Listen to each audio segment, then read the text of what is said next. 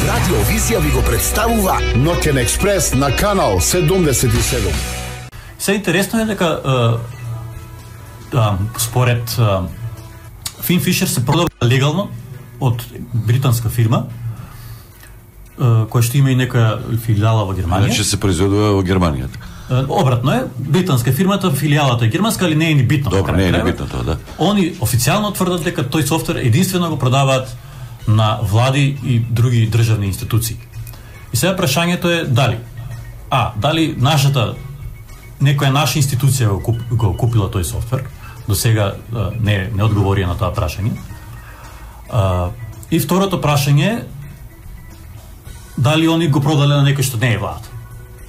Тоа е тоа е надвор од нашата тоа е нашата на, на, нашата надвор од нашата легислатива. Во старт проблемот е парите, дополнителен анекс, Меѓутоа пазите се, значи две работи не, знаеме за Финфишер. Тоа е а дека нашата влада не одговара или институциите дали они го имаат набавено, а би морале да одговорат и зашто.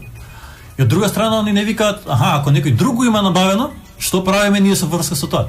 Ноќен експрес на канал 77.